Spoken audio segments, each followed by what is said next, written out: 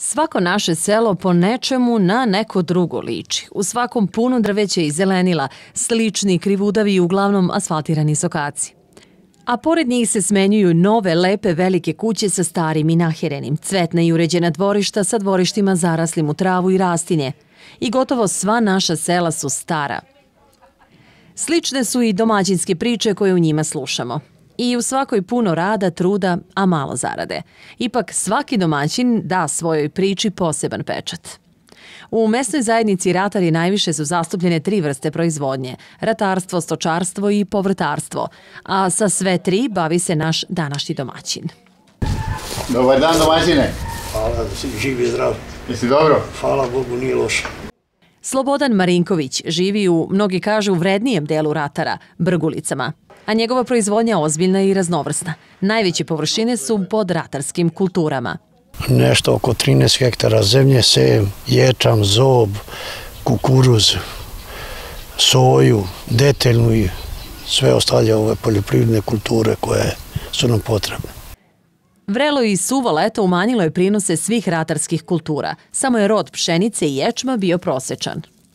Nisu bili baš dobri, jer ima kukuruđe najlošije dao pšenica onako, detaljne skoro ništa i tako. Da li će biti dovoljno hrane za?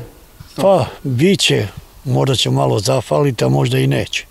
Sad sve zavisi, jer imam sta, prošlogodišnjeg, tako da mogu da se malo snađem. Bez đubrenja i dobre pripreme zemljišta za setvu ne može se računati na visoke prinose. A za to treba dosta mehanizacije. Naš domaćin ima gotovo sve što je za obradu zemlje potrebno. Imam sve, sem nemam, nemam kombaja i berač. Imam traktora dva, plugove, tanjirače, setpospremače, drljače, ovaj, korpe, ciklon, prskalicu, presu, voz i sve ostalo što ide. Bez mehanizacije dobre nema... Nema obrade, nema dobre poljoprivredne kulture ni jedne, jer tu treba dobro da se radi da bi se nešto ostvarilo.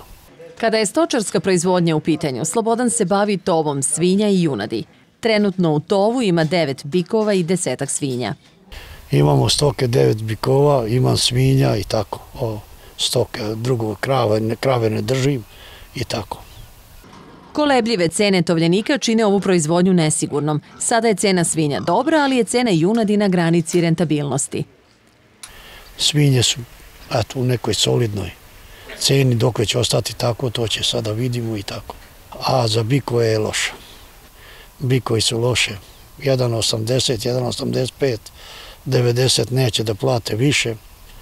To je bilo pre 10 godina 2 evra mi tu ne postojimo. Naš domaćin ima i ne baš malu povrtarsku proizvodnju. Pod krompirom je bilo 60 ari, a sada je kupus posađen na oko 70. Sem toga gaji nešto paradajza i paprike pod plastenicima. Pa gaji malo krompira, malo kupusa u jesenom delu kupusa, u proletnom delu krompir. I imam za sebe paprike, paradajza i malo pretekne viška, što ostane ne, ne potrošni za svoje potrebe. U ovako raznovrsnoj proizvodnji gotovo svakoga dana ima puno posla. Ne da je puno, nego mnogo posla, ali sve se to polako stiže, koliko toliko. Ko sve radi? Rade sin, sna, unuci, deda i baba i tako. Puno ruku? Puno, puno ruku, bit će bolje. Kada se iseče kupus u novembru, završit će se ovogodišnja proizvodnja, ali sa jesenjom setvom započinje novi ciklus. Naš domaćin planira sličnu proizvodnju.